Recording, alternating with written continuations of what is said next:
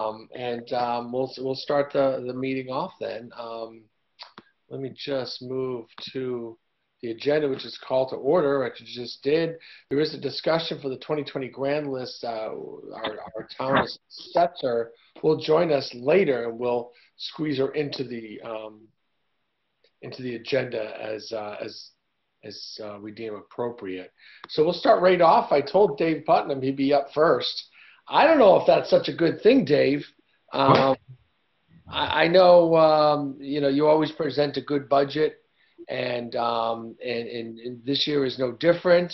Um, you know, we had some discussion about your budget and all that, but still, you're you're a great department head, uh, uh, great leader, and it's good to start our season off with you, Mr. Putnam. So, uh, but that um, budget number 421 is Parks and Rec. Dave, um, you have some changes coming up in your department, and you had some proposed changes. Feel free to discuss them. Right, right, absolutely. So um, we do have a retirement. Well, first of all, let me introduce Tom Beebe. Tom's with us. Tom is our new, um, our new chairman of the Park and Rec Commission. So uh, Tom is on here. Um, and so I want to welcome Tom to his first budget uh, first budget go around with the Park and Rec, and uh, you know, glad to have him as our as our chair. So we're looking forward to his leadership uh, moving forward. So thanks, Dave. Thank, thank you for your service, Tom. You're welcome. Thank you for having me. So we do, uh, as Mark mentioned, we, we have some changes coming up in our department. We have a retirement uh, as of June 30 uh, right now is Carol Roster, who has actually been with the town for 49 years.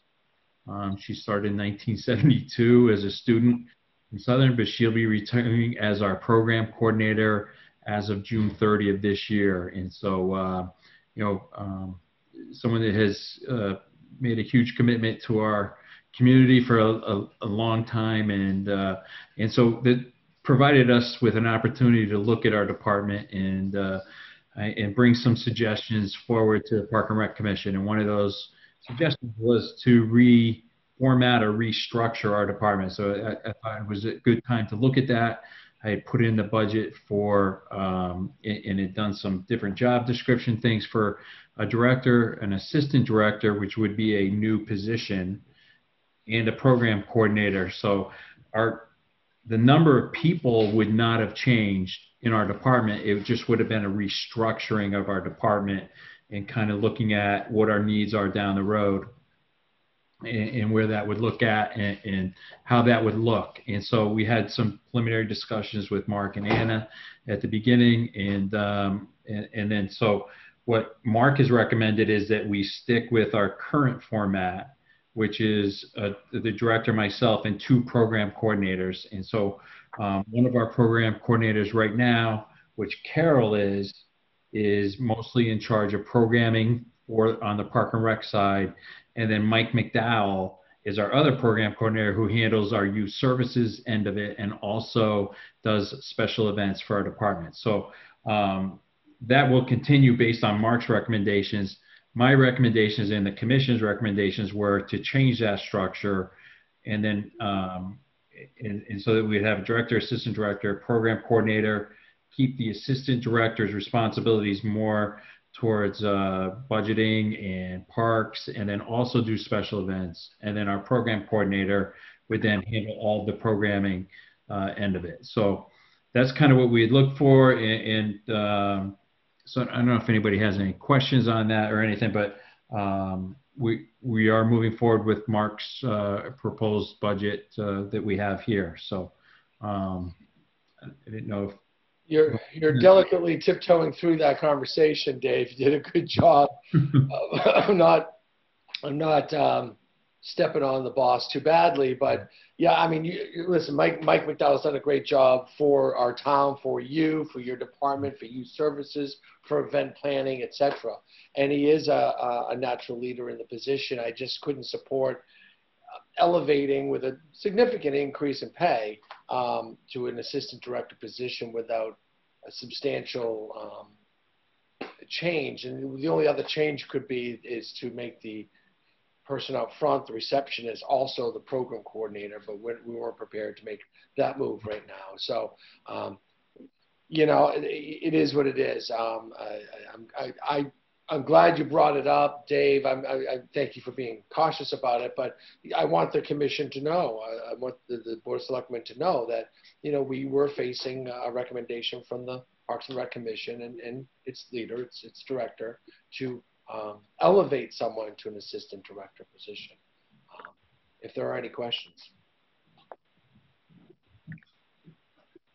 Well, one more point before, and, and maybe just bring up your whole, maybe go through your whole budget. You are also adding a maintainer Right, correct.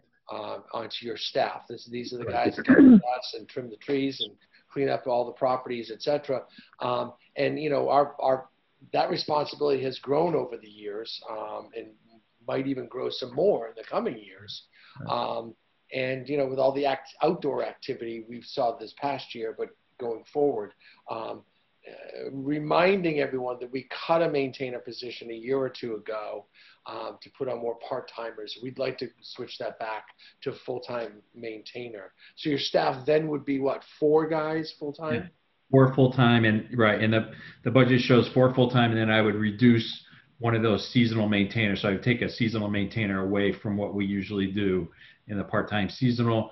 I think that's really important with, you know, some new things that have come on board recently. Um, it, it's just been uh, a struggle for us with three full-time maintainers to keep that level of service um, that we're used to. And like Mark had mentioned, uh, it, probably three years ago, we had lost that. We had had four-time full, four-time full-time maintainers, four.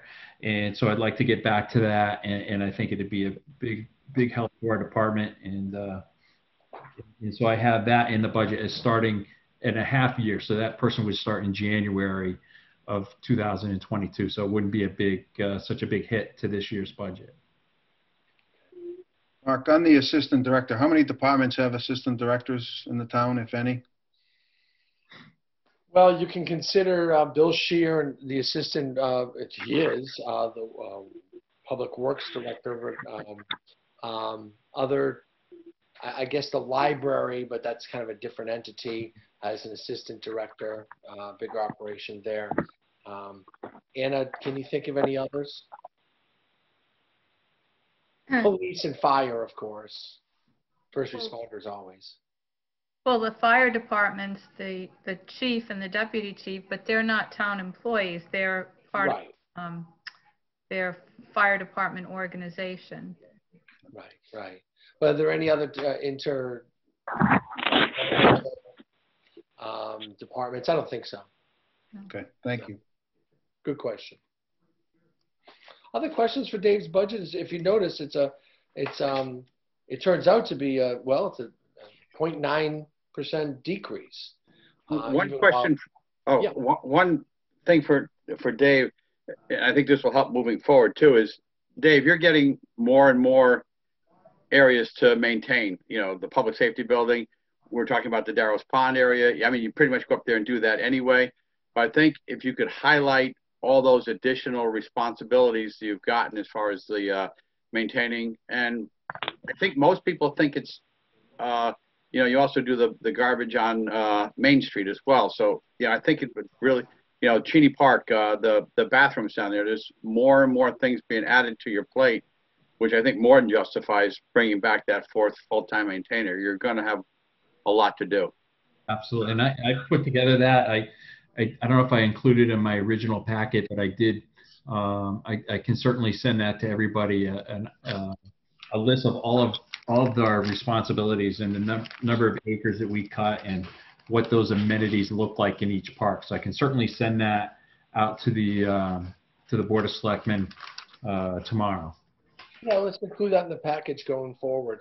Maybe just naming the parks and, um, and then other duties like the garbage pickup and the beach cleanups and all that other stuff. Uh, And, and, and I think we cut most of the town buildings too, that, except for the Yeah. school. We maintain the town hall, the police department, the new, I would anticipate the new, um, public safety complex, those grounds are all under our, um, jurisdiction, municipal parking lots, um, all of those types of things we're cutting and trimming. on the- Dave, also don't forget to mention, although it's only a couple times a year, but Roxbury Road, that's a big area. And you, two or three times a, a season, you do have to go out there and maintain that as well. And we do cut two of the three historical houses. Uh, we cut the Smith Harris property and also the Samuel Smith property. We go up and do that. Oh, wow. Um, the only one we do not do is the Lee, uh, the Lee House. So, um, we're, we're, we're cranking for sure. I think that's a good idea to list the town properties that you're responsible for. Perfect. Kind I'll, of, I'll send that to you, Sandy, tomorrow, and, um, you could forward that on to the, um, rest of the Board of Selectmen. That'd be great. that'd be great.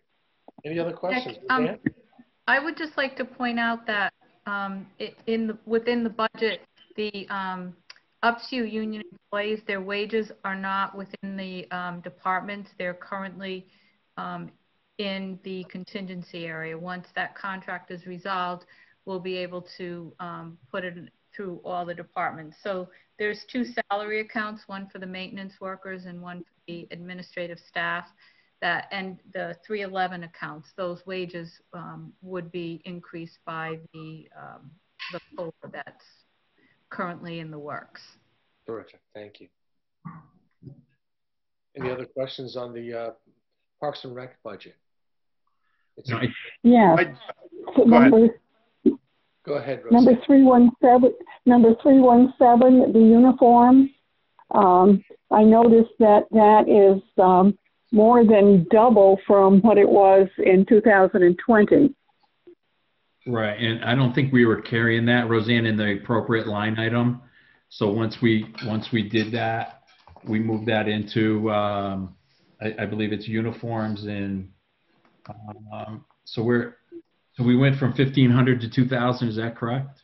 Correct. Yes, And then, and then in, and then in twenty twenty, it was seven hundred and fifty. Right. Uh, so we weren't carrying it in the, in the proper location at seven fifty. I was always having to find that and, uh, finally in talking to Anna that we wanted to carry their boots and, uh, their two hundred and fifty dollar clothing allowance was not covered in that, in the twenty twenty account that is now covered. Thank you. Thank you, Roseanne. I'll just point out for the rest, because I know you know better, because you've been around, that is a uh, contractual requirement, work boots and, uh, and uh, uniforms. Um, So we have to properly, you know, put the right clothes on them for, for safety measures. Um, Thank you for that. Any other questions? So it's a. That just the full timers or is that the part timers as well? That's just the full timers. Just Full timers, under contract. Yep. You probably buy T-shirts or something for the part Yeah, timers. For the seasonal staff, a sweatshirt and two t-shirts for the seasonal guys, but we don't pay for their boots and, and that kind of stuff, so. Well, where is the money for the seasonal employees then, for the, for the uniforms that they get? Yep, that would come out of park and field maintenance. I would take it out of there. Okay, thank you. Dan uh, Cunningham, you had a question, I think? Yeah, I just, on the athletic lighting, I realize that that's reimbursed uh, through fees, but um, it went down about 25%. Is that because the- the fields are being used less, or are we getting some efficiency because of LED lighting? Right, so Dan, they're getting used less. So like for an example, girls, uh, you know, girls softball in town has really Yeah. not declined recently. So they're, they don't, because even though it's re- reimbursable to us, it does, you know, for them, that's still a cost for Little League softball. So they've done away with quite a few night games at that. And then, um, you know, just, we're seeing a lot less requests for lights. Um, from, Yeah. especially that group. I could, I could tell you, you know, when I first, when I first started years ago, there was probably 10 to 12 um, girls softball teams. They're probably down to six or seven now. Uh, Wow. Yeah. Just, you know, lacrosse is taking some of those players away. Uh, I see. People have gone to different sports and, and that kind of thing. So that's what we're seeing. Thank you. That explains it. Dave, even though you, you see it's going down, you've already expended, if I'm reading it right, uh, Yeah. eighteen hundred dollars this year. Right. So some of the, some of the utilities we take for, from that account to cover a, another utility account in there. So maybe, um, I'd have to look at that, Paul, a little bit more, but I think the utilities, electricity, sometimes we're a little short in that account, so sometimes we take it from that athletic lighting ex- estimate. Okay, thank you. Okay, Uh, on line, on line 2001, the telephones and cable internet, again, that's a huge jump from where it was in 2020. Um, it's almost triple.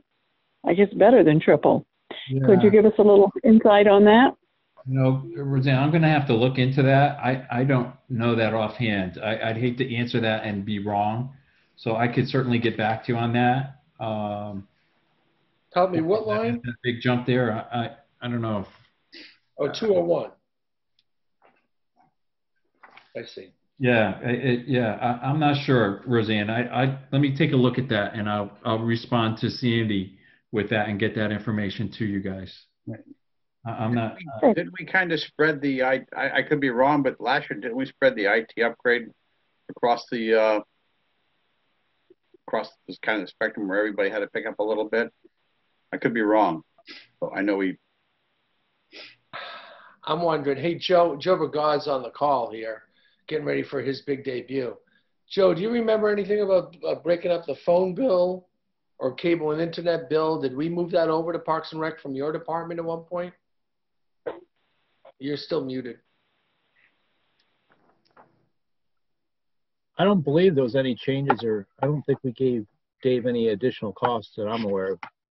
yeah, the, the only thing we picked up, Anna, if I'm wrong, is a phone for economic development or something along those lines a while back, but I, I, I think they're, are they They're no different. longer existence or anything? I, I- That we- we're we're the Economic Development Commission now. The the board of Right. is.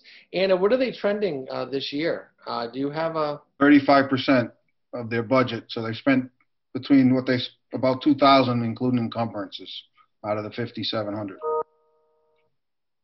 There's a little room there. Hmm. There's definitely a little room there. We'll we'll take a look at that. Thanks for pointing that out, Roseanne. Um, But I'll get that, I'll, I'll get that information to you. okay, great. Any other questions? Thank you, Dave.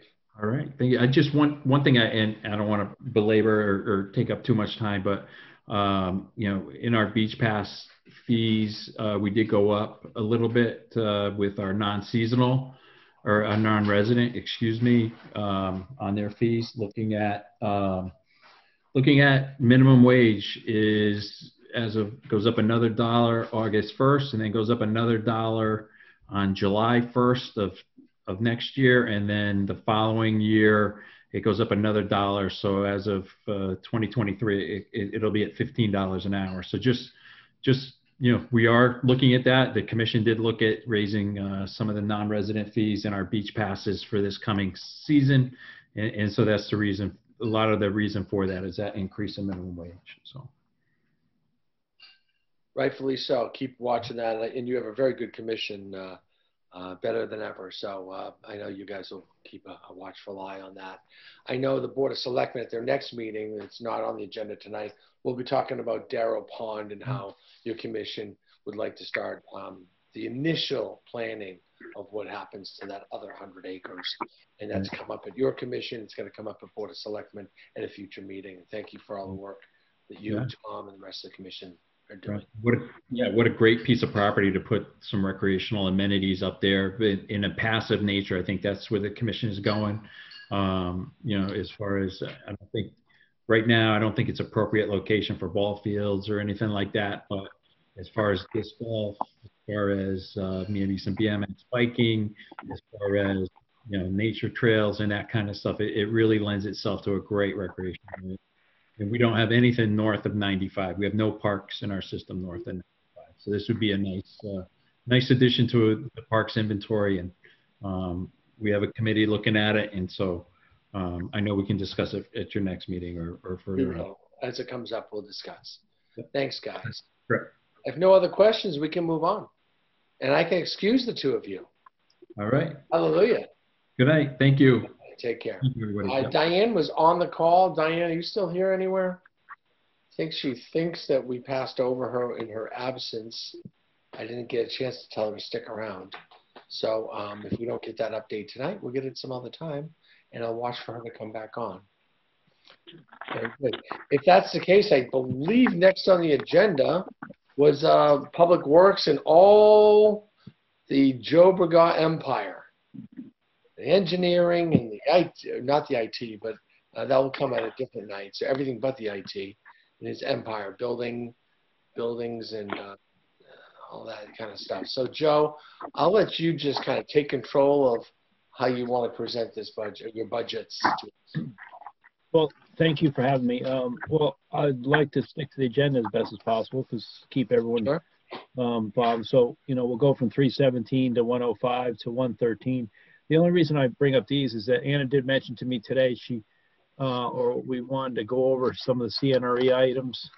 Of course. as well, So I don't want to forget to discuss those after building meeting. So, Oh shoot, we did with uh, with uh, Dave Putnam. We already forgot to bring up his capital. Anna, you were supposed to remind me. Um, Sorry. no, it's okay. so Diane's coming back in the. Diane, you're back in the room. You just just hang on, okay? And when we're done with Joe, we'll put you on. Okay, good. All right, Joe. Three seventeen. Okay, three seventeen, Public Works, Highway Sanitation. Um, there's a lot of line items in this budget. Um, big picture, it's a, uh, seven two three million dollar budget this year. Um, what you're seeing here is a 0.47 percent decrease. Um, full disclosure, as Anna would say, uh, the UPSU, um, raises are not shown in this. That's, that's an additional like thirty thousand. So it, it's like a 0.1 percent budget increase that I'm proposing here. Um, so I'll just kind of hit some of the highlights going through. Um, the uh, first set of lines, the 100 personal services, the 311 line, the regular payroll, even though UPSU is not showing uh, up here, that would normally in a normal year be zero percent because the the general wage increases aren't being shown here. The reason it's showing 2.549 percent that well, the the largest majority of that is the fact that I'm not sure if this board remembers, but um, I had 35,000 cut from my 24th employee last year. It was uh, three quarters of my 24th employee um, was to be waited to hire until uh, the last quarter of the year. So I'm trying to bring back to that 24th employee. Um, so that's why that that line is showing a little higher um, than what the adopted budget is for this year. Uh, going down to the 200 series contract operations, everything is the same. Just a footnote: the $50,000 for tree maintenance. I mean, it it's, might seem like a lot. Um, we've really leveraged or I've really worked um, with Eversource. I bet Eversource has cut down about seventy thousand dollars worth of trees uh, for us this year, and I've spent about thirty-five this year. So trees are a huge issue in this town, and I think we're getting, um, even though there's a lot of them, um, I think we've done a decent job of trying to stay up with with the time. So that that that line is a very important line. Um, the next set, that uh, services, 210 series, 210 services. The um, the SCARA tipping fee is going down. And the main reason, um, again, one of those full disclosure is um, it's going, it's showing on the, this year's budget 570 and next year's budget 541 because um, we used to get uh, a transportation subsidy from SCARA and now that subsidy is, which it really should be, is now deducted from our bill. So, so our total cost will be less, the billing we get, but we don't get that revenue. Um, so I'll show you where that shows up later. So, uh, but that line was able to drop um, $29,000. Um, bulky waste is up just a little bit. The, just the trends are that people are going crazy and bringing stuff to transfer stations. So um, all the bulky waste that goes in has to be carted up to Willimantic and we pay on a tipping fee basis. So I want to make sure we cover what our um, what we're trending. Uh, fleet maintenance has always been a struggle with um, trying to keep some of the um, well all the all the rolling stock that we have in town, especially the garbage trucks and everything like that. And a lot of times there's a lot of big ticket items. So we've been trending at about 225, and each year I've been probably taking 10,000 out of like road reconstruction or some other line. So I was trying to properly fund the fleet maintenance line this year. Continue on the uh, line items. 317. Um, the 300 series operating expenses, um, everything is being proposed is the same. We, we're, we're proposing the same amount. we typically, for store materials is the biggest line there. We typically budget about 200, 2,000 tons of salt. And um, that's a good number to usually budget. Um, fleet vehicles is an, a big, uh, for, so three, uh, line 310, 221. Um, that's a big, that's a big reduction. And just, just bear in mind that reduction also transcends the Board of Ed and the fire departments. We were able to procure fuel, unleaded fuel, 18% lower than we are this year and 24, diesel 24%. We were able to hop on, on the fuel contracts months ago when it was really at its lowest and we're all locked in for next year. So that that saved the town a lot of money. Um, and, and as I said, that should show up in Board of Ed and the fire departments as well, who are in different budgets. Street lights, we're um, you've been hearing from me for six years now. This is year six of seven, um, where we're paying off. You know, way back seven years ago, we our, our line item was 205, 210, and we suggested let's go to LED lights, buy our lights out, and uh, we've been paying the last six year or five years 145,000 of that 210 or 212 is a payment that after year sevens will will disappear. And then that line should drop down to about 40,000 45 just when we kind of need it most. So um, I'm trying I'm holding that line steady because we you know two thirds of that line item is for paying off the, um, the, the, the payments on the lights and when we retrofitted it and um, I oversee the anytime there's a street light out, they email the town at publicworks at. Uh, I put them all together. I dispatch the electrician. Um, I follow up with Eversource. So that's how those are done now. And Town Aid Road is um, is the same. Uh, just the last thing, unless, until you guys have questions, if you do, um, I, I, think you're looking at at the bottom of that is the revenues uh, on the bottom of that second sheet. If you're looking at the same sheet as I do, which shows that the transportation subsidy disappears. And that's where I already told you about it. It's a SCARA line item that that line went down. Now, the, the two lines don't line up. The, the line went down 29,000 in the expenditures and it, or, and it goes down 40,000 here because they recalculated the transportation subsidy uh, in SCARA. So that's the difference. Um, tipping fees, the commercial tipping fees.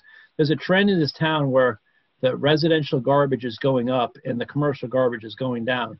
And one of the things that can be, and, and it's good for the businesses in town, but a lot of the businesses are smarting it up and they're, they're, they're asking us for cans themselves. So instead of getting a dumpster, they, they ask us for a can. They have to buy a can for $110 and they roll it out the street each week. week.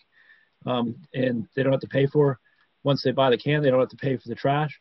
Um, but, you know, if they had that dumpster, they'd be paying a, hauling, you know, CWPM or something like that. So we're, you know, you drive on Main Street um, and Pennsylvania Avenue on their trash day, you, you won't believe how many cans are now out on Main Street. Is that's the trend, and that's why the commercial trash is going down, in my opinion, because that's your big one of your bigger business centers in town. So um, it gives us less revenue, but you know they're taxpayers too. So uh, we're just trying to balance that.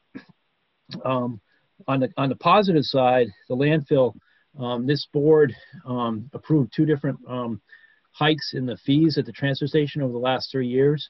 And uh, we've never had more revenue coming in that place. Uh, on three and a half years ago, four years ago, we were taking in about 110,000. We're up to, we're, we're closing in on 200,000 in revenues um, for the bulky waste, brush, and all that kind of stuff. So um, there, we, we've, we've been working on our um, system of tracking. We don't take any cash, which comes at a cost as far as credit card fees, but now we don't have $2,000, $2,500 worth of cash sitting in the transfer station. It has to be delivered and hand counted every day at the town hall. So from an efficiency standpoint, that's a lot, and, and no no cash goes, um, you know, lost. So that that that's the better financial way to do it. So that's expenditures and revenues. If you have any questions on this budget, um, more than willing to answer. Good start. It's a good budget. Thank you, Joe. Are there any questions? Yes, I'm wondering when the policy was changed on picking up uh, commercial waste. Because when we went to the program, uh, commercial businesses were not included in the town pickup. They were supposed to pay for their own. Uh, I understand your rationale that they are taxpayers too, uh, but they're certainly different than um, a residential business. I don't recall. Uh, I don't recall ever voting to uh, approve commercial pickup. Uh, so could you fill us in on that? As best I can answer, because, um, you know, I've been with the town seven and a half years and that's that we've been doing, we've been picking up. Um, say if Dairy Queen wants to have garbage cans and then they have garbage cans. I, I don't think there's been ever any distinction in the time that I've been here. Um, I know there's some businesses that just bring all their trash directly to the transfer station and don't bypass the pickup. So I'm not sure if uh, I could look into that, Roseanne, if there was some kind of um, something in the ordinance um, did not allow businesses. Um, but I, I deal with what I deal with, and that's what we, I've always known since I've been here is that some businesses in town choose to go with garbage cans and some use to go with uh, dumpsters.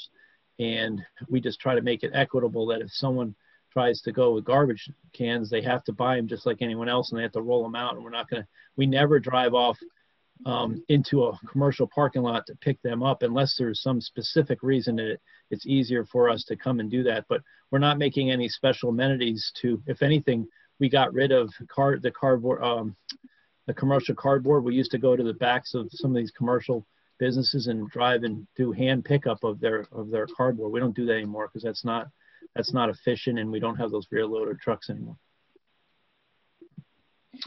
So- Thank you. Yeah, I mean, interesting point, Roseanne, and of course, uh, you've been here a lot longer than us, but um, uh, I'm wondering, uh, do you know that other, com- do other towns within SCARA also operate like we do? I think they work. Are you asking me, Mark? Yeah. You're yeah. Yeah, They, yeah. well, so there's three towns that closely mimic East Lyme, New London and Waterford. Well, two, London, Waterford, and us. And by saying that, we're the only ones that have municipal trash pickup, as we have our own employees and our own trucks pickup. Everyone else contracts it out. So it, you can't even compare yourself to the other, those other towns that contract it out because they already have private haulers and it's not their business. They just have haulers. So Waterford and London, I believe, are the same way. If if a business so chooses to get cans, that's that's their prerogative um, and they pick them up, but they have to pick them up on our rules. They have to roll them out to the street on the day that they're collected, and our arm p- picks it up and throws it into the bin. Um, that's that's how we've been doing it since I've been here. I can certainly ask. Um, one of them, our employees has obviously been here 47 years, so I can ask Mr. Schultz um, what the past history is. But that's my understanding is that's we the way we've been doing it um, for a long time. Okay. So is there any limit to the number of trash cans that they can put out as long as they buy them?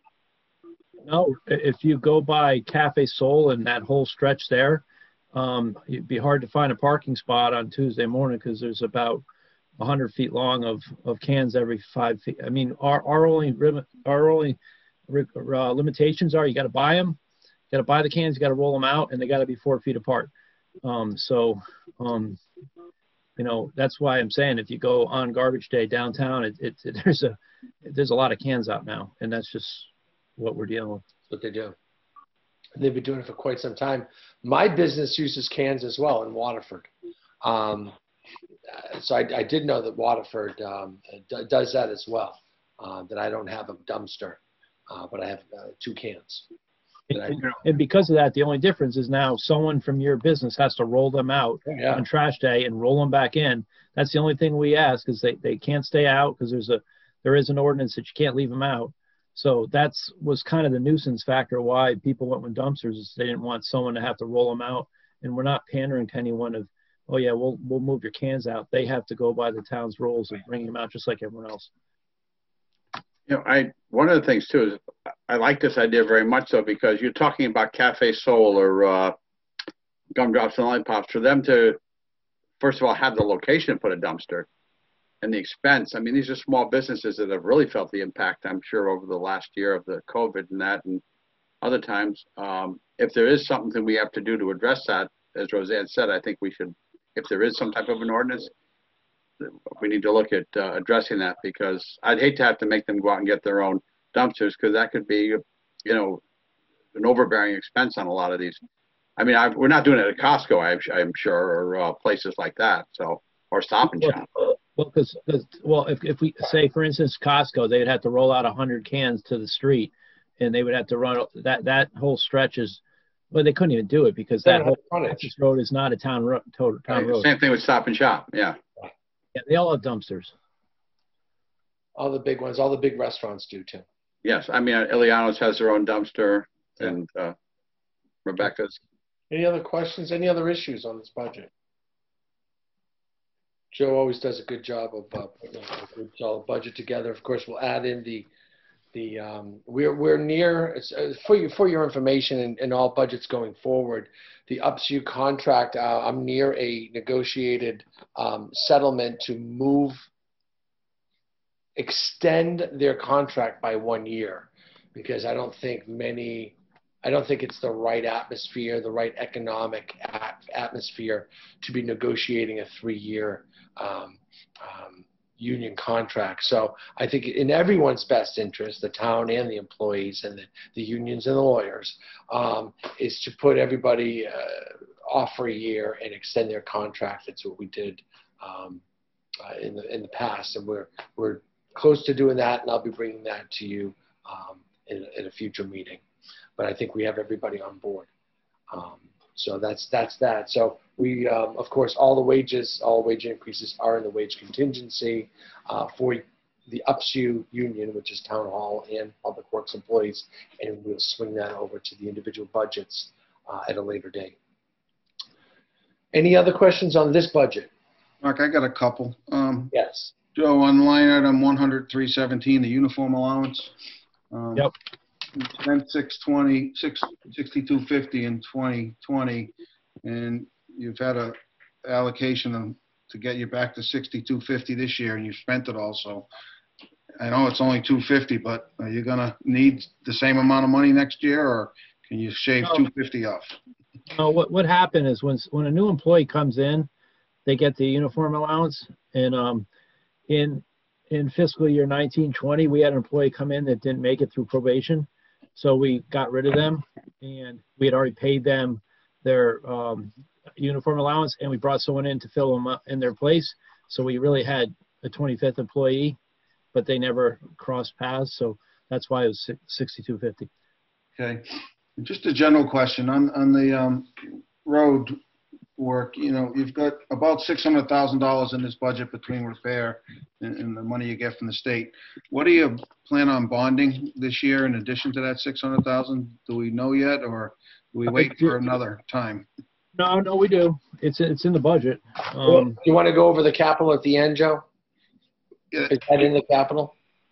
Yeah, I, I, I'm just, just to answer this question, I believe it's five hundred thousand and we can go over capital. I don't think Anna was mentioning it to go over the CIP stuff tonight, so that's why I wanted to just answer your question, but I believe it's five hundred. I believe I asked for five hundred thousand. I have a very detailed, uh, um, yeah, five hundred thousand. Oh, I'm sorry, eight fifty. Um, I have a very detailed, uh, list of all the roads that we're working on, and so, um, at the time that the, the Board of Selectmen and the Boards of Finance want to review that, um, they will have a whack at that to see what we want to do. And if that gets, because if you remember last year, we asked for 900, it got cut to 500, and then we cut out Dean Road and Grassy Hill, and then I got questions why we aren't doing Dean Road, and I'm like, because it got cut. So that's the way a budget works. You, you either put it in and it doesn't get funded, then you don't do it. Right. So right now, on- on the, uh, road reconstruction and repair, you've, you've spent about thirty-one percent of the budget this year and about fifty percent under the other line item. Do you have enough time in the spring, you know, most of your, most of your weather, your weather, your better weather is summer and, you know, after June, after July first, but you look on track to spend the, the rest of this year's budget? Uh, Yeah, yeah. Um, Paul, that was done, um, every year that we have these, that I've been doing it, we spend most of our money in the fall, in the first half of the year, but, uh, made it, um, kind of executive decision in the springtime with, with, it- with COVID. I had no idea what's gonna, was gonna impact our, our, uh, um, our department, let alone the public. So I scaled our work back and we are ready, to- we've already had discussions, they're gonna come out in gangbusters come um, March, end of March.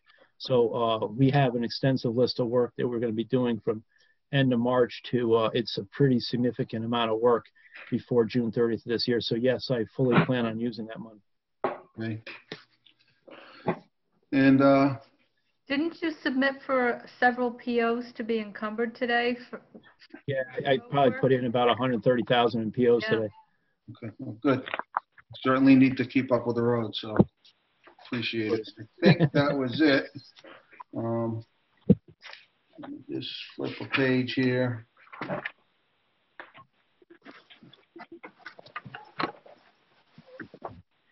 Yeah, um, you, you already mentioned the, the reason for the decrease in the fuel, but, you know, from, from 20 to 21, we added 30,000. And now with the fuel deal, we're taking 38,000 off of last year's budget. So going in the right direction. Thanks.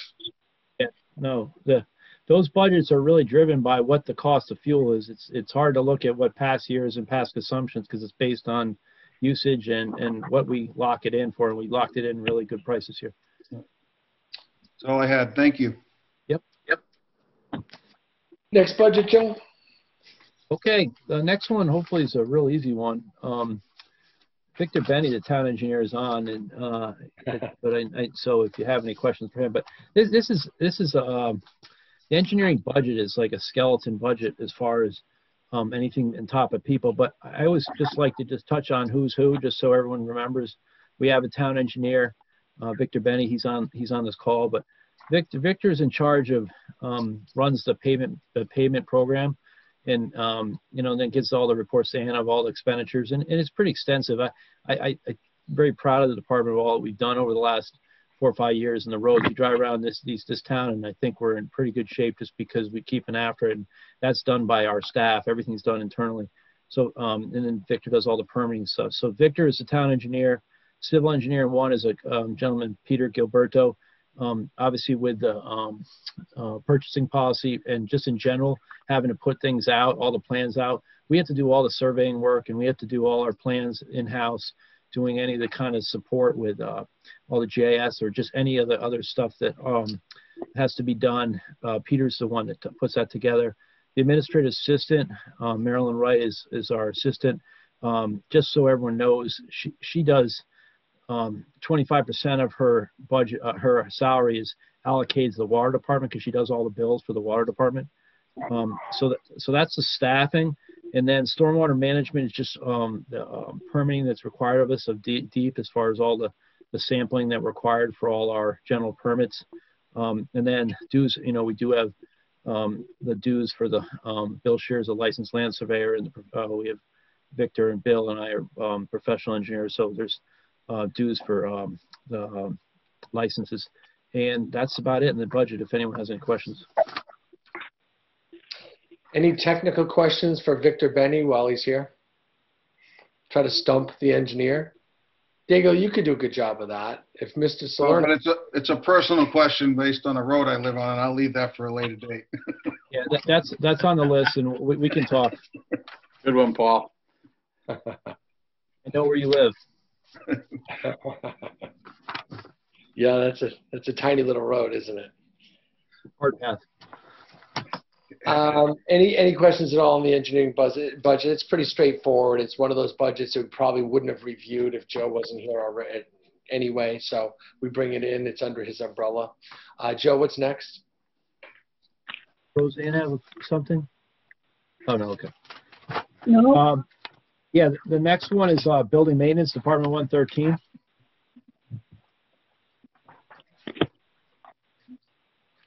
All right, so this one, this one gets, um, a little confusing, but I'll, I'll try to simplify it as best as possible. And the reason being is that, um, of the, um, the new public safety building.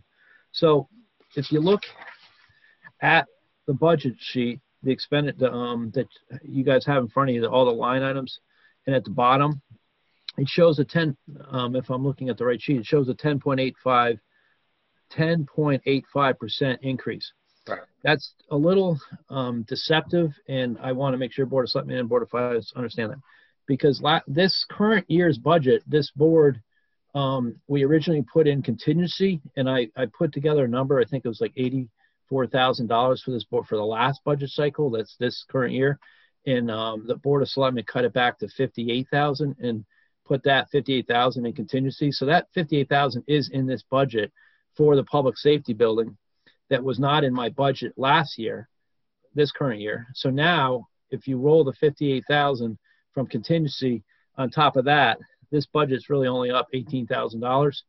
So um, I understand from a percentage standpoint, but it's an important thing, and I'll show you where those monies have been brought in from the from the contingency, and and everything is kind of lining up with what I said last year. So custodians, um, that that is unto itself. We're taking over a building that I believe is thirty thousand total and fifteen thousand on the first floor. Now we have the fire marshal going to be upstairs for um, some. but not Potentially, a lot. be upstairs. Was that Potentially. Okay? Still, Uh, still waiting for a cost and that hasn't been approved yet, but it's, Okay, thanks for letting me know that. Because that, um, but anyways, fifteen thousand. So you can't just add, and then the other question that I'm sure will be mentioned is that, well, we already have an existing police department and we already have a pub, um, uh, a dispatch center.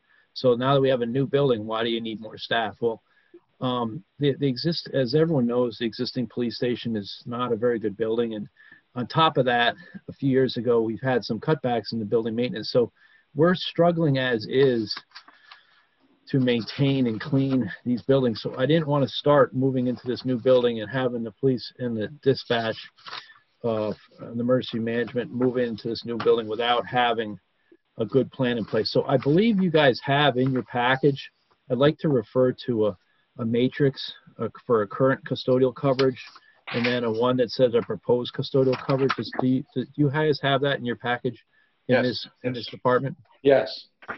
like to just give a highlight. I'm not going to go over every like you know hour that someone works, but just a, a highlight of what's happening. Is on the first one that says current custodial coverage. The buildings that we're maintaining right now, by maintaining is cleaning, um, town hall, probate, the existing PD on Main Street, the community center, uh, the dispatch and emergency management at 171 Boston Post Road, in the field services building. If you look at dispatch and emergency management, the, the bottom two buildings, we have like maybe three hours of coverage um, at the dispatch and four hours of coverage at the FSB. Um, I have between Parks and Rec and Highway, I have about 30 people at the field services building, and we have four hours of cleaning services dedicated to them. Um, so I'm struggling right now and actually pulling custodians out of the community center because that building isn't being used that as much because it's not the public isn't coming in it. But that's one of the areas. Plus, if you also look at the, the existing police station, we, we have one and a half hours on Monday, one and a half hours on Tuesday, one and a half hours on Wednesday, and one and a half hours on Friday. So we have six hours of coverage for that whole building. Six hours of coverage is not going to work for a 15,000 square foot building. And just put it in perspective, the town hall is 18,000 square feet. So the, the, the space at the, the usable space, or I should say the, the space to be used at the new public safety building is give or take about the same size as town hall, just a touch under. And um, so right now, uh, we have for staff, we have Ron Benz, our building supervisor, and he's he's really in charge of any anything that comes up during the day, coordinating any kind of work, building maintenance, all that kind of stuff. He's the supervisor of the custodians.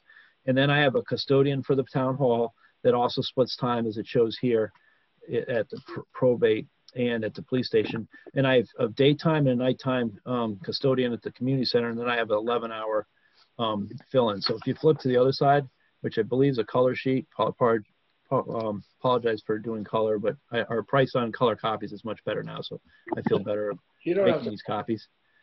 But this, what we're proposing here is to drop the hours of town hall, of the town hall person from 40 to 32, but to bring in a full-time. So there is one more full-time person, but we're dropping the 11-hour part-time position. So in total, to bring on that building, I'm, I'm, I'm increasing the number of hours by 19 hours, which I think is a reasonable proposal. And if anything, it's certainly not um, uh, overly ambitious as far as extra help um, because this, what I'm proposing gives just enough if everyone shows up. So if you have someone that goes up for out for a week, I do have five thousand dollars in this budget for cover it for um, for uh, uh, pickup uh, so that coverage. The problem is it's really hard to get good people to do to to fill do fill-ins when you don't give them any hours uh, or don't give them any random hours. So this is basically in a nutshell what I'm proposing that shows up as the 222 180 on on your budget sheet is I'm proposing a full-time person. So we actually have five full-time people instead of four. But right now I have a part-time person that's 11 hours and I'm cutting one of my full-time people. So um, I'm very specific and you certainly can look at it. You can ask me questions now but I try to really give a really good detailed synopsis of how I believe that we're going to try to cover these buildings from a cleaning perspective. Um, do you want me to just go over the rest of the budget or does anyone have questions about the custodial coverage? We've had a lot of discussions about this and I'm moving the chess pieces around. And what we don't want to do is is um, be accused of not maintaining our buildings. Uh, that's very important, especially as we move into a brand new building, um, being used about 60% of it being used. Um, we want it to look nice and be nice and look like new for a long time. Um, obviously, our current police building and our, our dispatch center, which is decades old, um, have seen um, seen its better days. They've seen their better days. So, um, Mark, I, I just have a comment on it. I Um, think you did a good job of uh, spreading out the man hours and not not just bumping them up um, willy nilly. Ahead, uh, Paul. uh, I, I think this is, is, I'm gonna say you're gonna be challenged, in my opinion, with the public safety building, with locker rooms, showers, a, a fitness area, the cells, uh, if there's someone in the cells, does it need to be, you know, especially in time of COVID, wiped down? Don't know if that'll be your staff, the custodial staff, or the police staff. So I appreciate you looking to try and get this done with only 19 more hours, but it's something I think, depending uh, how things go uh, through this first year, you may be dipping into that $5,000 uh, to be able to cover it. So I do appreciate that, and I was having a conversation. with My bill when I was putting this budget together, I didn't know all the specifics of. I mean, we don't. We never had to clean a building like this, and with the with you know no, we don't have anywhere lockers. I was just asked the question today about well, if you if you have a mess in the jail, what do you do? And I, I, I honestly, so I did the best I could with the limited resources. That we haven't moved into this building yet, but that's something that we're going to have to take into account um, because that five thousand dollars will go is really not meant for backing up the public safety building. That's meant for, you know, the guy, the person um, at the community center is on vacation for two weeks, and I need someone to back it up. It's not like a covering a day. So um, that's something that we probably should have extended coverage. I was going to have a meeting with Mike Finkelstein to kind of have a better understanding of what their expectations were, but yeah, I don't recall the number of hours that we've we've had, you know, people held in Waterford, but you know, they're they're not held usually that long. But uh, depending on number of people coming in and out of those cells, uh, this is an area you'll have, you have to keep an eye on. We may have to make an adjustment after we get up and running for a little bit. Good point. Paul, Paul, with uh, a lot of time, if it's a hazmat type thing where you have, here again, you sometimes you'll have a prisoner, you know, hurled Yep. feces, you know, that does happen. It's pretty much, and I'm sure Waterford has the same thing. Those are almost always you will call ServiceMaster to come in to do a decontamination. Of course, now, do- you know, it'd be a good to see, to see what Waterford's protocol is. I'm sure the chief's are looking into that. But anytime there's any type of a hazardous bodily fluid or material, you would contact a ServiceMaster uh, to come in and and sanitize that. But I, I agree with uh, Paul, Joe. Six and a half hours in that public safety complex. I mean, that's here again. It's a we're our we're probably going to have a decent facility for our first responders of police and dispatch. You know, and I'd rather be you know I don't want to be penny wise and pound foolish. So I think six and a half is great. I mean, that's pretty much good. But you know, there might be times when, especially if you have a prisoner overnight and you take them to court in the morning.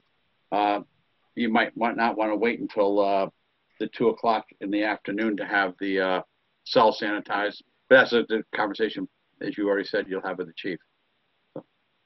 and ironically, the, the, the one and a half is for the, to cover the 30 employees that are FSB. So um, I- I'm, I certainly could ask more employees and we can certainly do that. I mean, I'm trying not to slug the budget, but it is going to be, uh, once we get in there and even the timing, this budget is based on them moving in in August. Um, so if they move in earlier than that, then this budget is not covered that. So keep that in mind. Yeah, And I can tell you for 28 and a half years of experience, police officers aren't really all that good about picking up after them. So I'll just keep moving it with the different lineups because most of them are pretty similar, except for the money that I pulled from my original estimate that went into contingency. Um, put three thousand extra into service contracts because we're gonna, once we fall, uh, actually move in there, we, we, we should have HVAC contracts and, um, and pest control, um, but we did add that to this year. Building maintenance, I added five thousand for that, just to bring on that building. Um, and then custodial supplies uh, down in the 300s went from 1605 to 21. So um, I put in 5,000 for that.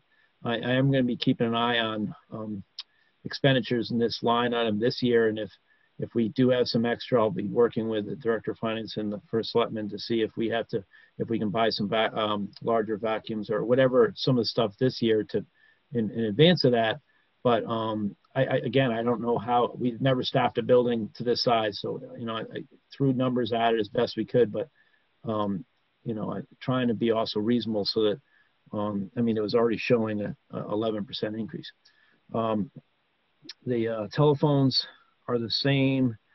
Um, electricity, uh, the 260, uh, I don't know if you guys have it in your packet. If you don't, I, I definitely gave it to the director of finance, uh, to Anna, but um, I, I didn't just willy-nilly the 260. Again, it's really hard to figure out, but you know, um, what, what that building, that's a 24 seven operation and with dispatch with all the equipment, they use more, but um, it's, I, I, I definitely drop the, the, the electricity at the existing PD once they move out and at the existing dispatch, although there is still going to be equipment there. So I, I really don't want to drop that 260 number down. I, I think that's a, a good estimate, and I, and I gave that to uh, to Mark and Anna.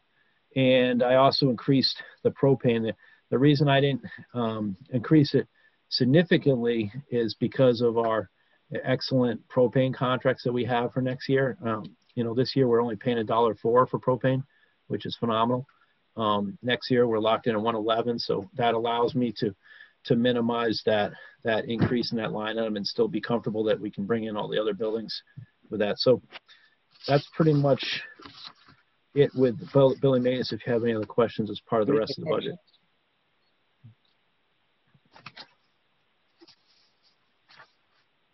Dan?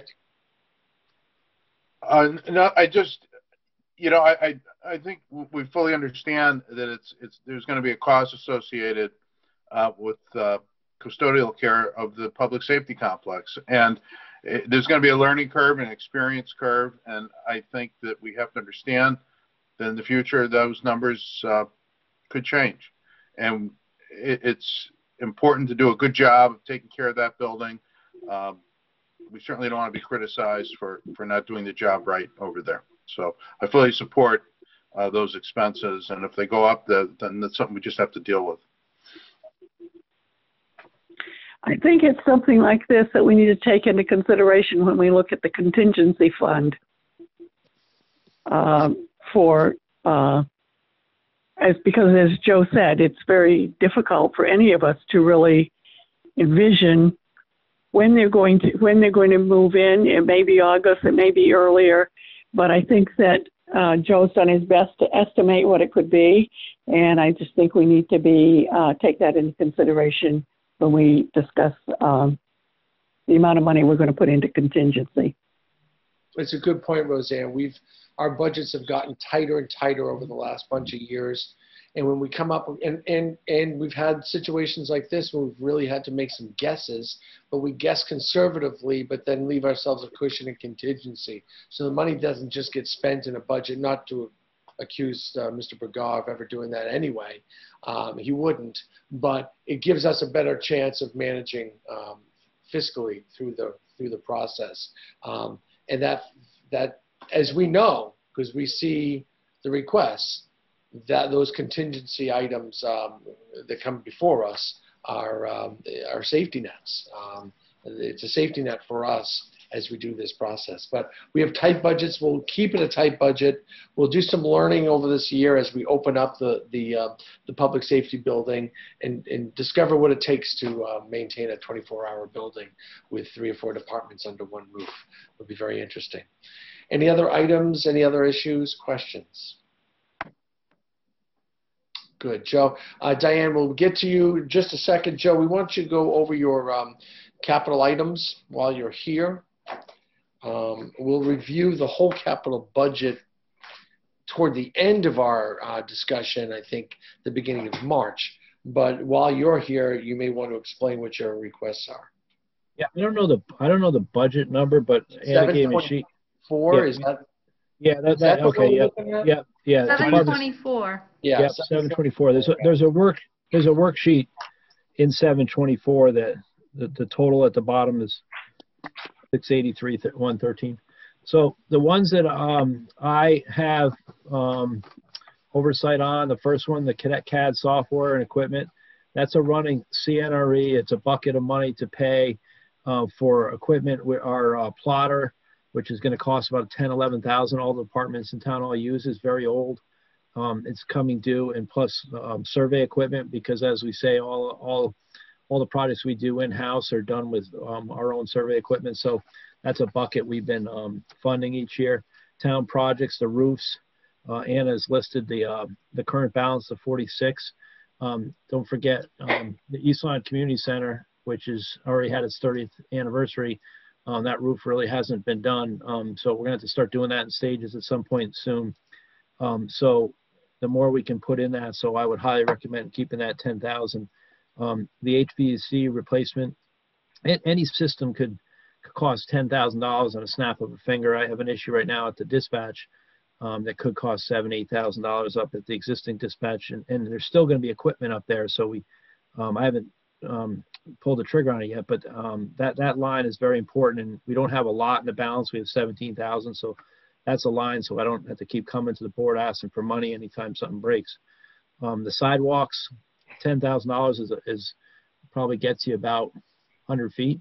Um, so, um, even though we do have a balance of one fifteen, uh, coming from Gateway, I have some locations that not only we look into repair sidewalks, but also, um, I was kind of looking at the Boston Post Road area and, and, um, Chesterfield up by the high school, trying to infill some areas so that, you know with students walking around and some of the businesses up there. So that 10,000 would be uh, important to keep. Townwide servers is another bucket of money um, uh, you, town hall servers is a bucket of money we put aside. Just so um, and I'm Anna would know better as far as how much oh okay the balance sorry the balance right there. We're putting that money in there so when the servers do come due the money is there. And uh, it was a few years ago that the servers um, uh, conked out, and so that money is pretty important to keep funding. Um, the, the engineering vehicle acquisition that was from 1819, so that's just a payment. Um, the technology upgrade, upgrade the 10,000 um, under town computer equipment every year we we put in 10,000 we replace about 13 or 14 computers and uh, they run in age. Um, we go about six years with our computers, five, six years. If there's certain department heads or certain uh, high functioning, um, uh, everyone's high functioning, but if, if there's people that really need higher demands, uh, we, we, we try to change those out sooner than normal. Uh, but that's about the schedule, about five, six years. Uh, Parks and Rec is not me. Town Rec is not me. Fire, Flanders Fire Department, luckily, uh, none of these, please. The only one is at the bottom is um, trucks acquisition program. And what this is, is, and it's over on the, uh, it's over on the far right. It said total vehicle, uh, total is 429, 500. And that is proposing to buy, to buy a new garbage truck. So this is the, this is the fourth year or we haven't had a garbage truck in, I believe, three or four years. The one we're replacing is our oldest one. Um, it's 2000. It's a it's a 12 year old truck, and it's pretty much had it. And also a dump truck for 135. So the the dump truck, uh, the the garbage truck and dump truck total 425,000. Um, there must be some financing in there too. That's what the the 429 500 is. Oh, boy. That's, that's, and, and then we have, we have the, uh, we have the payment plan, but that's in capital. That's something, that's, that's something different than this sheet. Does anyone have any questions? I have a question. Who's calling Roseanne? Because I'm talking. You know what? I can't get it to hang up. I was gonna mute you, Roseanne, but then I think you'd have difficulty unmuting yourself. I don't know if you know how to do that, so I chose not to. I do. Okay. It's well, one of the few things I do know. I, I, it's okay. It's just us, and you know, we're we're we have the uh, paperwork in front of us. Bottom line is, Joe's going to be needing a new a trash truck, right? And and what was the other one? A, a, a pickup, a dump truck? No, it's, it's a dump truck. I was trying to get a dump truck last year, but I, we, at the, uh, la- late, the eleventh hour, we switched it to a pickup truck. It's one of these mid-size, uh, we also, we use it, we use it all year long. We use it in the summer, we use it in the winter. It's a Um, small it's-. It's the mid-size truck. It's twenty-five nine, so it's not a CDL truck, but it's, it's, it's the mid-grade size truck. There you go. Any questions? I mean, we'll be reviewing the capital, but it's always good to have uh, Joe as, as he kind of responsible for many of the items here. Uh, if you have any questions. If not, Joe, I just want to know that, you know, you, you've staged yourself quite nicely with that background curtain. Did that, did that come out of town funds or? No, well, I have it shipped so you don't see my bed in this Oh, back. You're not at the yoga studio either? You're, okay. I'm, I'm, I'm in my room. I've been the rest of us don't room. know. We don't have such fancy backgrounds. You look like you're doing a stage production there. I could, so. Maybe some Sorry. colored up lighting um, in the back. Good for you, Joe. Thank you once again. You know, in the, in the 20 minutes you spend with us, you know, that probably equals more than 20 hours of putting the budget together, probably uh, 20 days worth of putting the budget together. It's not easy, and every year it's a new challenge. So I appreciate uh, all that you do.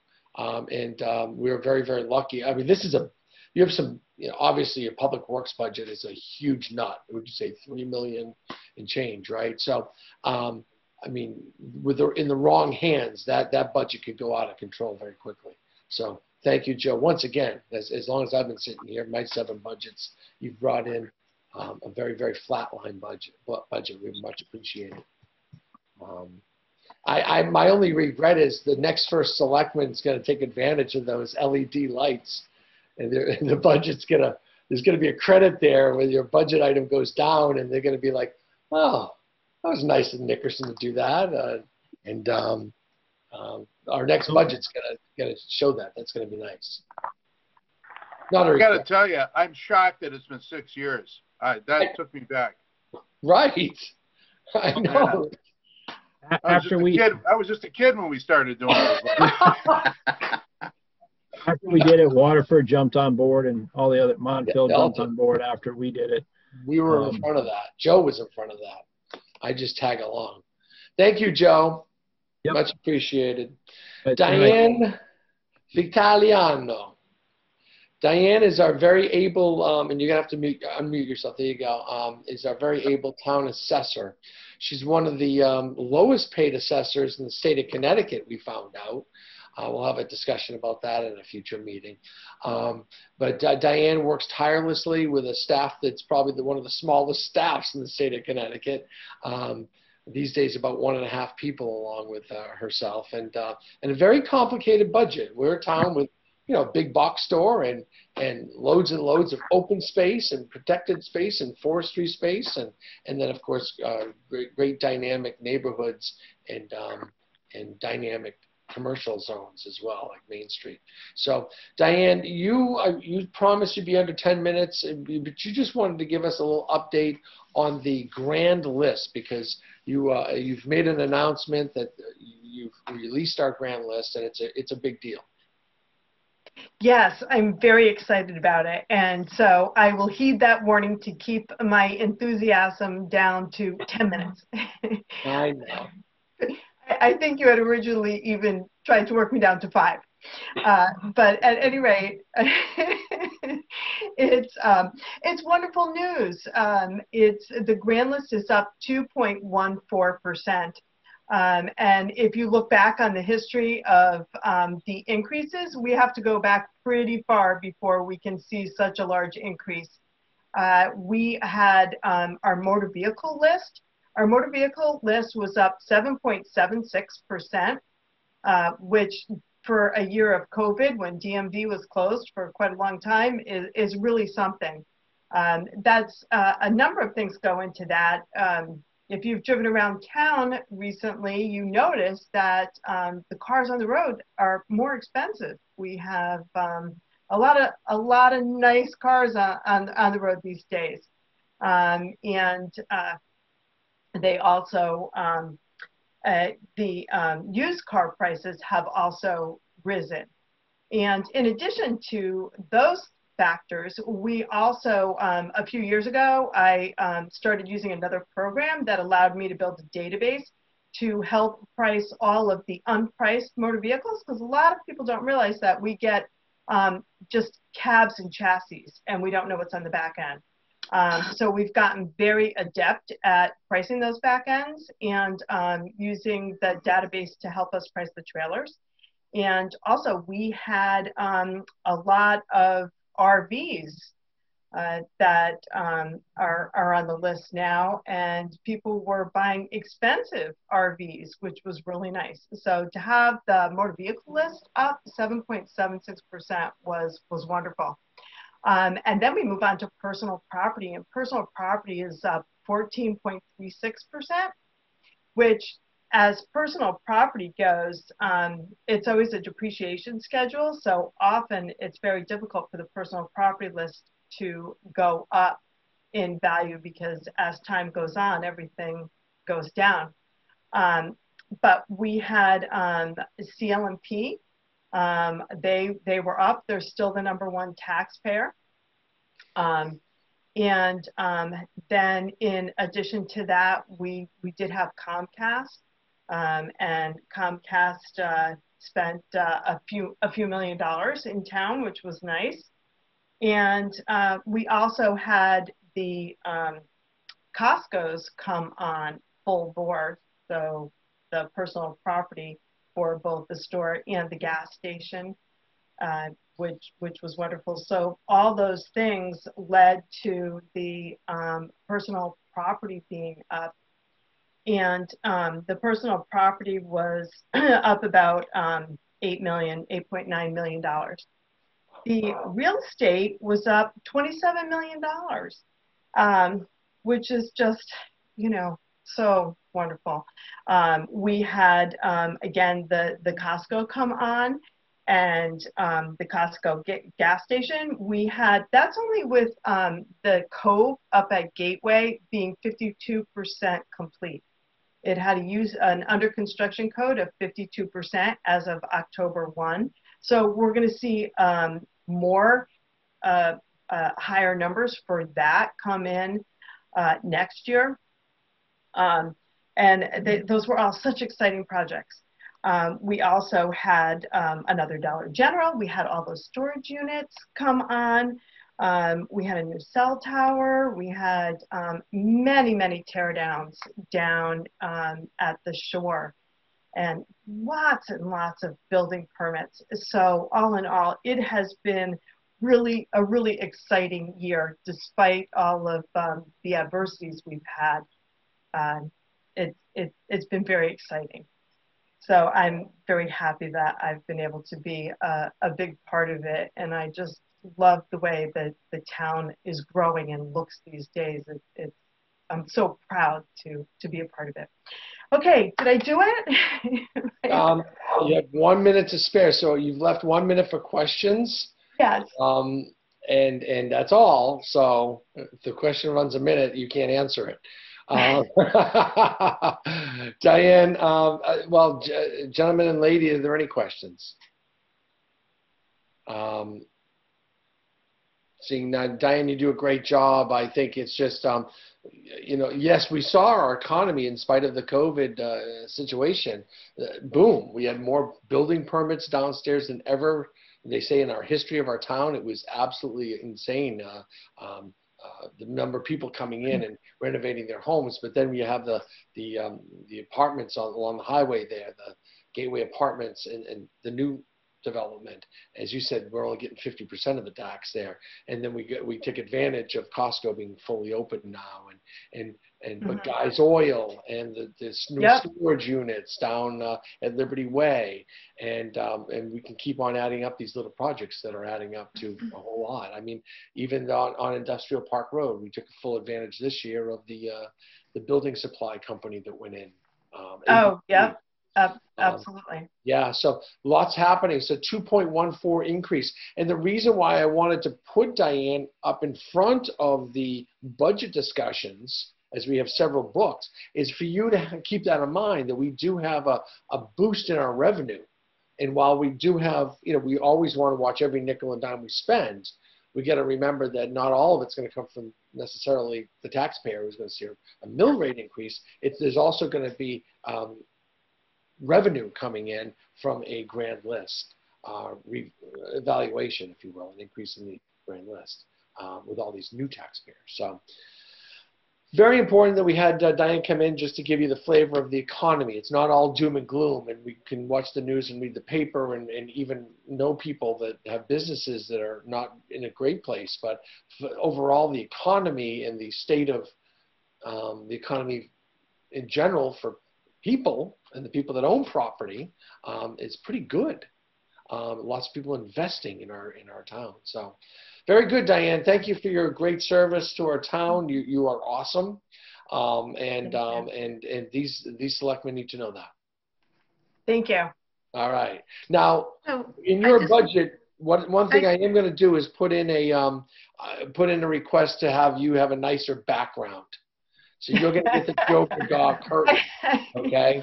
It'll be a shower curtain the first year, but it'll be a curtain. Was there another question? So what I wanted to say is, um, when we get to this point, it, it, you know, like in the budgets, you know, the new, the proposed budget cycle, I always go to, um, Diane because I want to know what the grand list growth is so that I can see how much, how much additional dollars the, the grand list growth is going to bring. And this year, it's over $1.3 million. Um, the range of what the grand list growth has brought in in previous years has been like between, let's say, three and six, maybe 700,000. So this is really um, like when I when I took a look at that, I was like, like a big wow for me, the 1.3 million. I just wanted Hey, to say that. When when Anna's smiling, I know it's a good day. when the finance lady and the assessor, uh, and presumably the tax collector, they're all smiling. Um, so we've done good. We've done good by our town. Absolutely. Thank you all. Thank you. Thank, Thank you, Diane, for jumping on. And sorry uh, you missed the beginning of the meeting. You know, Yeah. you lose, you lose, babe. I, I had um, some technical difficulties, but I finally got a computer that actually worked. Okay. You have a good rest of your night. Enjoy your family. Thank I'll see you in the morning. All right. Take care. Um, next up is, and we can move quickly through the next couple budgets. Services to the community, 115 is the budget. That's where we make our donations and our, um, our give back to the community at large. Some of it not necessarily in our town, but in our, in the general regional community. Uh, you'll see that we um, have restored all the funding this year, um, where we cut several pieces uh, out last year. You heard from Mr. Peck uh, from their uh, the, the, the Lee House. Uh, we had cut them down to uh, $250 from over 2000 we restored that money we didn't um, want to lose we put placeholders in many of those categories and some we left at zero but we brought back um, and i just um, i just wanted to point that out that was a one-time situation we didn't um, diminish our the value of these organizations to our community and how important they were we were in the middle of a pandemic and we were um, we were looking for every nickel and every dime that we could to survive one year. That's all. Um, so um, enough said on that. We did add the Southeastern Connecticut Cultural Coalition, $500. They're the Arts and Culture Coalition. They are working with our Main Street group to create a, um, our downtown is an arts designation, um, uh, destination and designation. Uh, I'm working with them on that, but they are a regional outfit that gets most of their funding through state grants, but you know how that's going these days. They're asking for all the towns in our cog to, to come up with some funding. We, uh, we didn't, I don't think we matched what they were asking for, but we are giving them a nominal fee of $500. And we, I ask your uh, blessing on that as well. Are there any questions? Yes, I was wondering if we had received any additional requests, any additional letters requesting funding. Not over my desk. Um, the, you know, many of these organizations ask for more money than we're giving them. Um, uh, you know, the homeless uh, hospitality center in London is would would gladly take twenty thousand uh, dollars. We're giving them three, but there's another group that's always asking for. Which group is that, Anna? That's always asking for. Um, UCFS. They're in as Family Service Association. Yes, Family Service Association. We give them sixty-three hundred dollars, and they're um, looking for a whole lot more than that. But that's been a constant uh, give, and um, we've been maintaining that line, which is a significant give back. Um, it's the largest by twice as much uh, than any other organization. Do you know of any, Roseanne? No, I don't, but I know um, that uh, we oftentimes do get letters or requests from um, different organizations that we don't annually fund. So I was just curious if we had received any additional requests that weren't reflected here. Yeah, no, um, the Cultural Coalition is the additional one, and we did choose to fund them based on all the hard work they're doing in our region. Um, and uh, we can't just be nickels and dimes and pavement and buildings and and HVAC systems. Uh, art and culture is probably a, a very important part of uh, us feeling human, especially coming out of out of this. So I chose to also fund them. They're a great group. Uh, Wendy Bury, B-U-R-Y, is the coordinator, and um, you may have seen her or heard her in other venues. Uh, she's terrific. So, good question. Thank you. Yes, ma'am. Anything else from anyone else? Okay. Great. And, and I'm glad to we can we can move that back. My my budget, well, my budget, the first selectman's budget um, is 101. I don't know if it needs much in the way of review. Our executive assistant is an unaffiliated. Am I right on that? Yes. And um, and I and the first selectman is as well. So those budgets, that's a that's a final budget. There'll be no wage increases included later on this. And basically, it's wage increases that are driving that.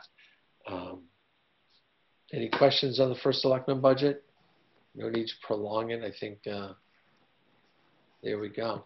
And the last budget then is the general government budget. Slow me down if you have questions.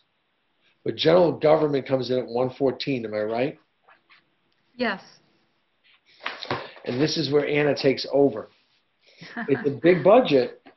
It's a, it's a significant budget because it has all the um, well health care, health insurance and pension and, and and and all that and workman's comp and insurance, lawyers, etc. So um, everything is laid out and we you know we, sometimes it's a fluid number right up until the time we kind of finalized the budget at, uh, you know, at the beginning, end of April with the Board of Finance, because the health insurance numbers are coming in and they tend to continue to come in. And, and sometimes the, uh, the liability insurance is renewing and might change. But Anna, bring us up to speed. Where are we on this? Uh, obviously, it's a little bit of an increase. We have a 3%, 3.81% increase in the to total bottom line. Yeah, so um, in terms of the health insurance, um, right now we're running with um, an estimated 8% increase. Um, I do believe that's um, probably on the high side. The, uh, the state is expected, uh, typically sometime in the month of February, they, they release their actual rates.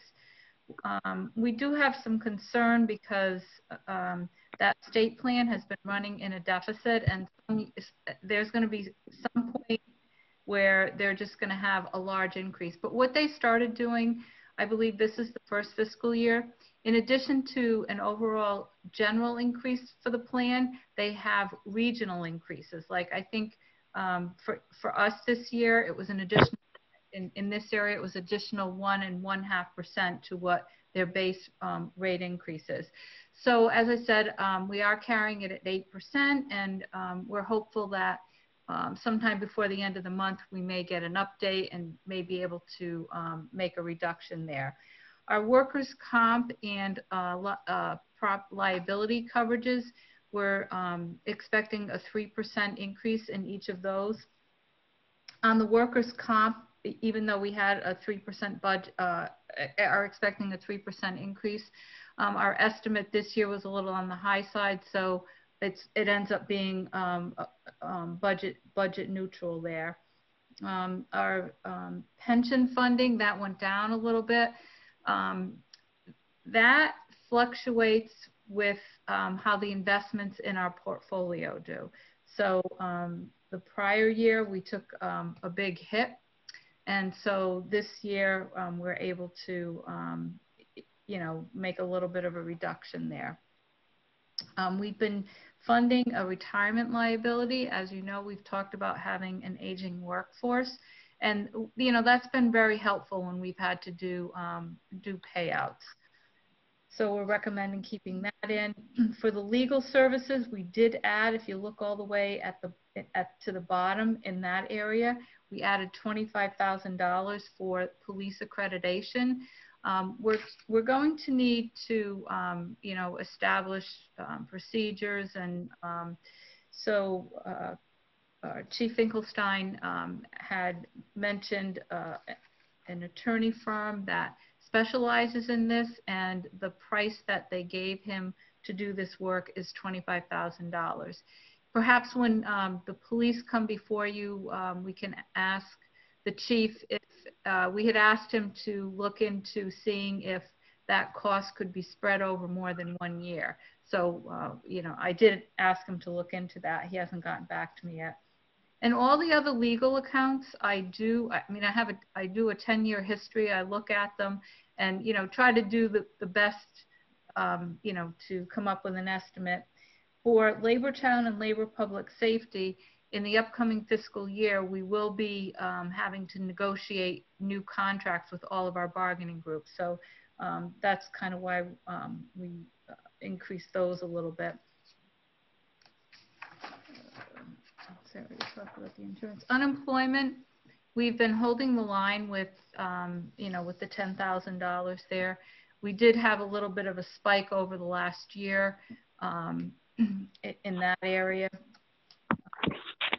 we've been managing with the $10,000 um, the $10,000 budget. And then the others, there's nothing, um, you, you, know, there's um, dues and some professional management training for, you know, for townwide. Um, that's pretty much about it. I don't know if anyone has any specific questions on any of the items.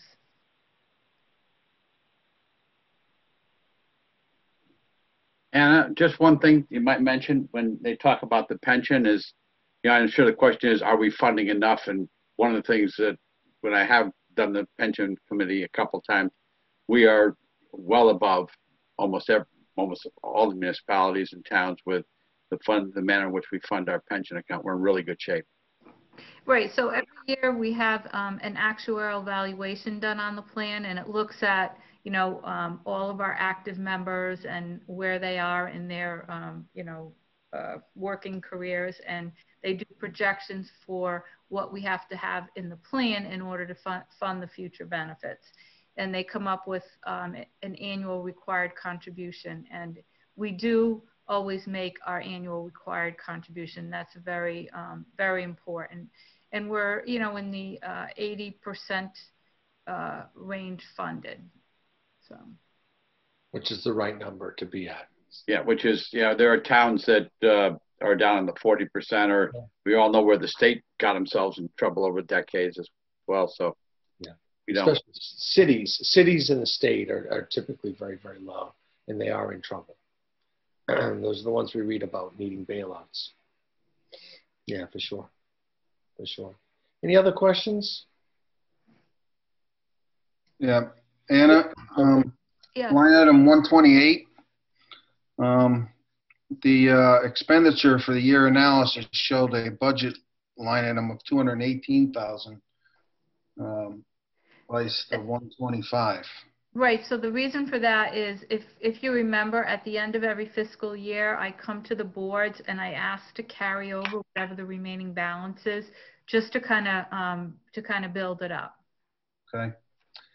Um, and, um, Inland Wetland Agency, seeing as we will be getting some, uh, legal costs associated with their recent ruling, uh, which line item did I fall under? Does it fall under planning for legal?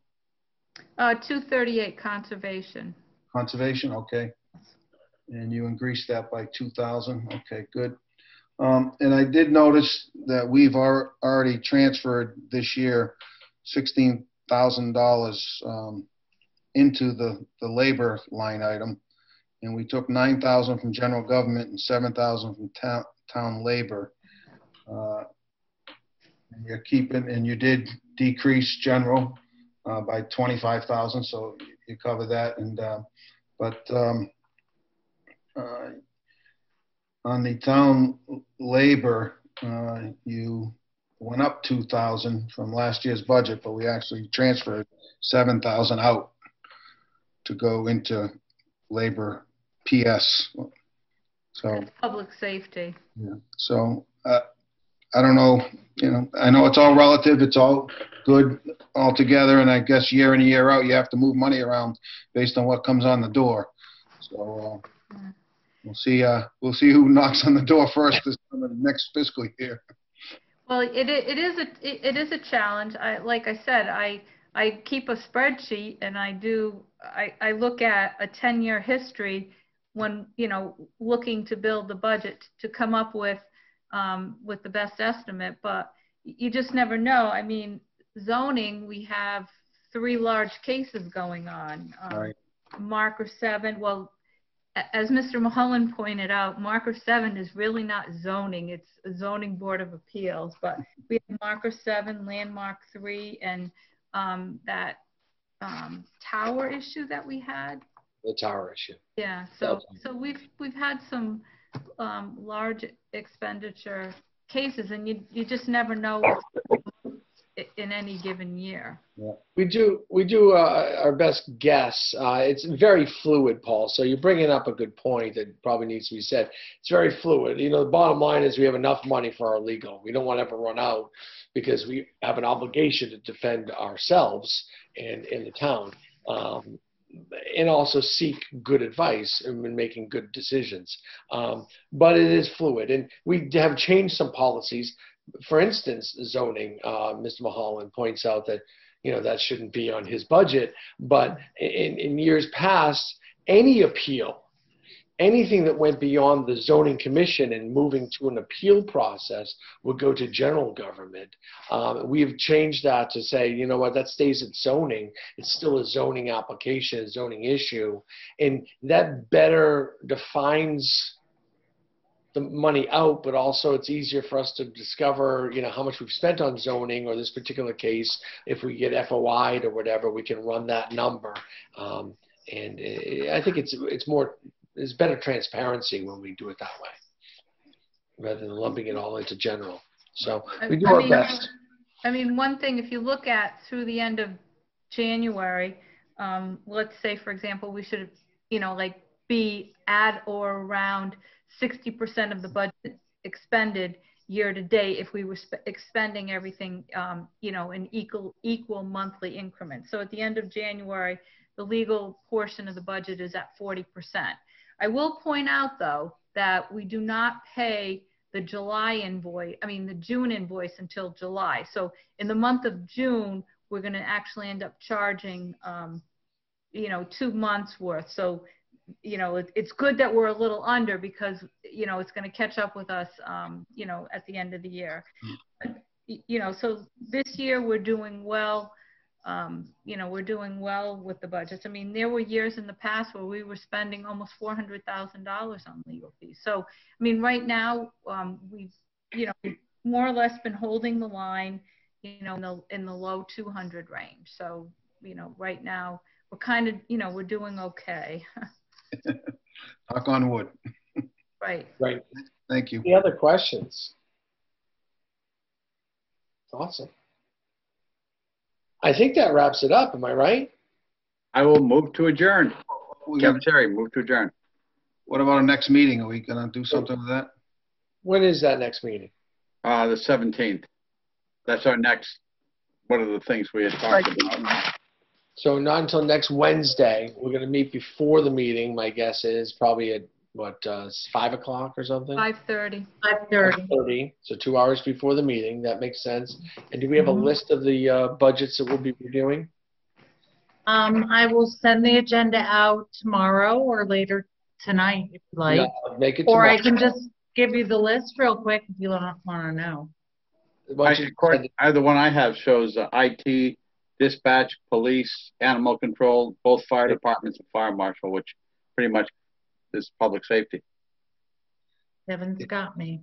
It's a big one. What we'll do is make the uh, Board of Selectmen meeting start immediately following budget deliberate, uh, bu- budget um, discussions. So that way, because it's a, those are some big meaty budgets, and if we need to run a little over, I'd rather do that than cut ourselves short. Um, I think the biggest, the biggest, um, really, the biggest budget is, uh, part of the discussion is the IT budget. IT, right, IT, and of course, the police is, is always a big budget and some issues over there. So there we go. I had a motion from Kevin. Did I have a second? Somebody waved their hand. Okay, I see Dan waving. Um, all- I'll second. There you go. All in favor, say aye. All right. Aye. We are adjourned, folks. Thanks for right. tuning in tonight, and uh, uh, we'll see you next Wednesday. If you have any questions, you know where to find me.